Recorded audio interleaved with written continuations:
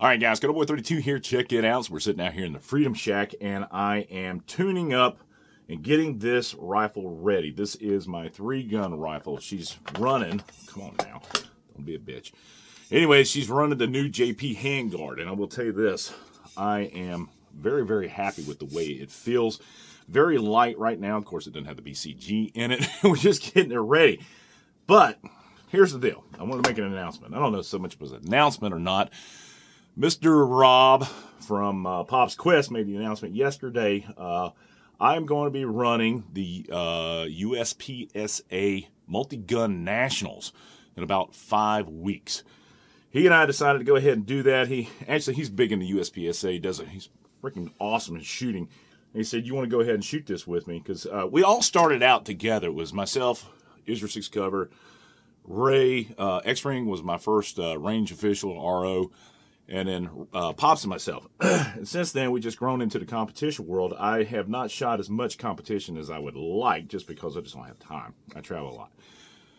However, this was pretty important. And put a closet together for my wife in exchange for a three day weekend to go shoot this Nationals. Now, the Nationals is pretty big. There's going to be a lot of sponsored folks out there. Uh, anticipate you're going to see all the, the big names out there. I know that Keith Garcia right now is signed up to it. For I'm, I'm really excited about that. So, why are we doing this video right now other than just make this huge announcement that, uh, hey, we're all running it together? And I think X Ring might be joining us also. That would be really cool. We were doing a live chat the other night, and one of the things that I uh, wanted to clarify, and this is kind of a rule book clarification this is Appendage E2, page 108 of the USPSA Rulebook. Let me do that one more time. The USPSA Rulebook. We're talking about muzzle brake sizes.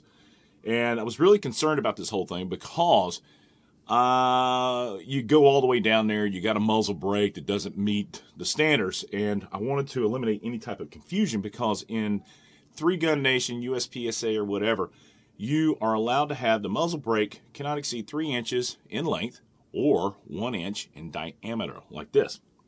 So the first thing I did was I pulled the muzzle brake out, and you know we don't even know does that include like bushings, uh, does that include the uh, crush washer or a uh, timing nut, and kind of confused about that. So I looked it up on Appendage E2 108 of the USPSA rulebook, and it does not include the full length of the muzzle brake. In fact, it is just measured from the end of the board, and you have the overlap of the threads to the end of the muzzle brake.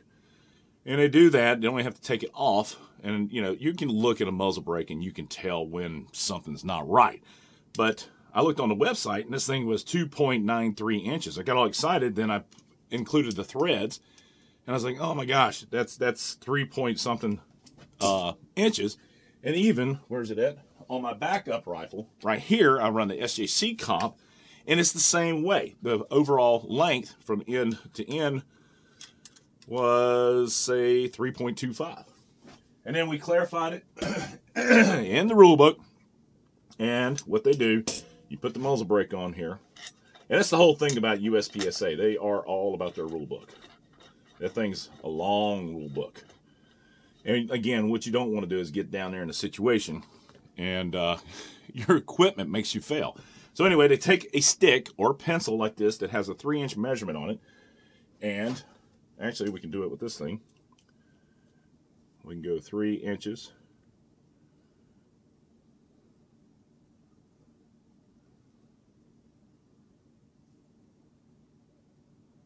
Right there. You take the end, go ahead and push it in there like so and you've got your measurement and you can tell that the end back here well it doesn't exceed the three inches which is kind of a relief for me because what here's the deal.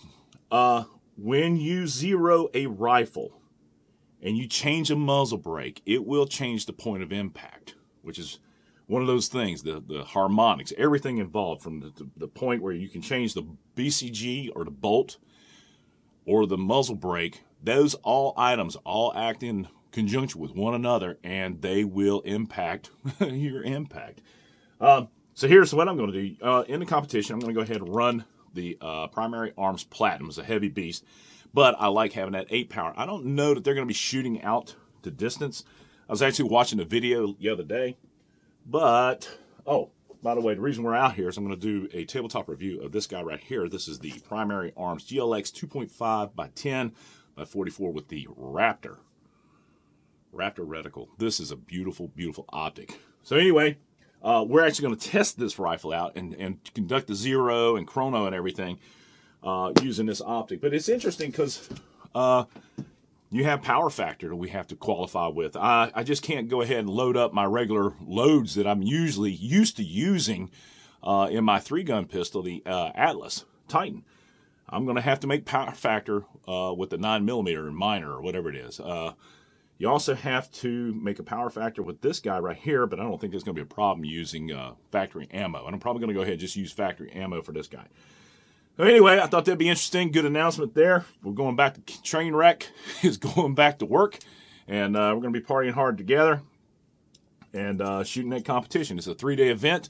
They're stickler for the rules. So one of the things I'm going to be doing is uh, going over the rule book real, real good, uh, talking about uh, where to load, how to load, how to carry. I've ordered a bunch of chamber flags that uh, have the little tag on them because I don't want to have any issues while I'm down there. You pay that kind of money and you don't want to get DQ'd. Well, anyway, guys, I thought this would be kind of cool. I'm releasing this first thing in the morning so you guys can have it. So, uh, where's my coffee at? Here's the Monday. Let's kick ass and take names. Boy 32, sport red, white, and blue. God bless America. God bless his men, women in uniform.